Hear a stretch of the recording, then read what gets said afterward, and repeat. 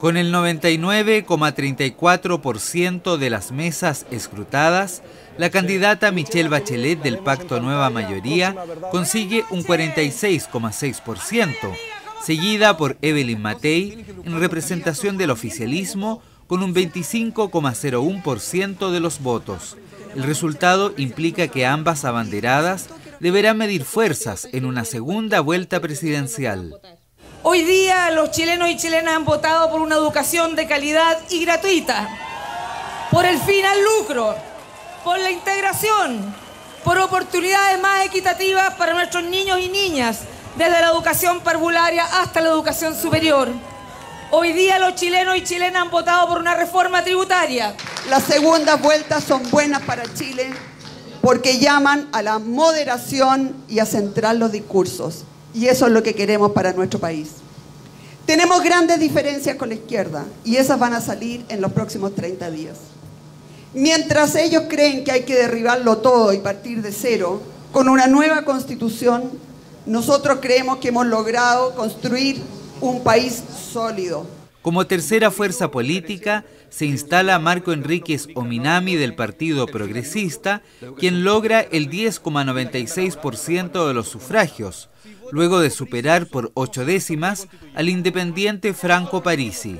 Si eso es así, es una gran noticia para Chile. Y es una gran noticia para la reforma tributaria, para la educación pública, para la Asamblea Constituyente.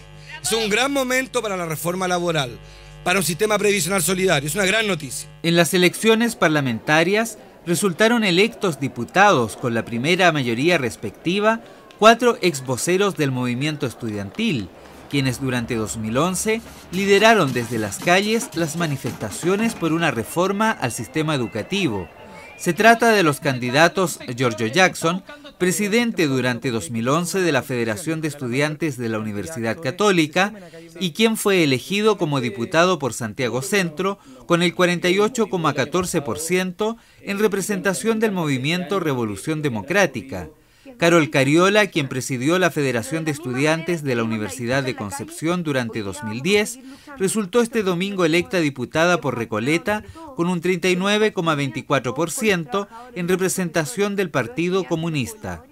Gabriel Boric, presidente de la Federación de Estudiantes de la Universidad de Chile en 2012, consiguió un sorprendente triunfo que se impuso al sistema binominal al derrotar como independiente a las duplas con las que competía, Boric fue electo diputado por Punta Arenas con el 28,05% de los votos en representación del movimiento Izquierda Autónoma.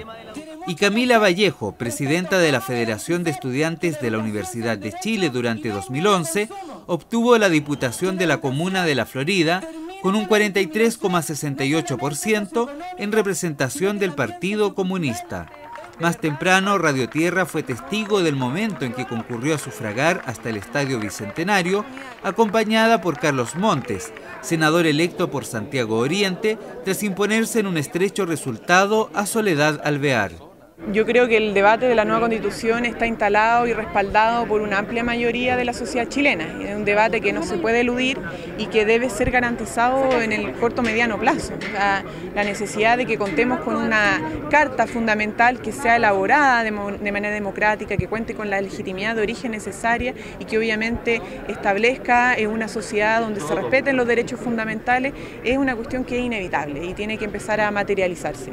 Se requiere que la mayoría manden, se requiere un Estado que tenga capacidad de iniciativa y, superar el concepto de Estado subsidiario. En fin, son muchas cosas que hay que hacer y, aquellas personas que están más metidas en el debate entienden de que la nueva constitución es fundamental, pero aquí al final los cambios en educación, en salud, en previsión son los que más motivan a más gente.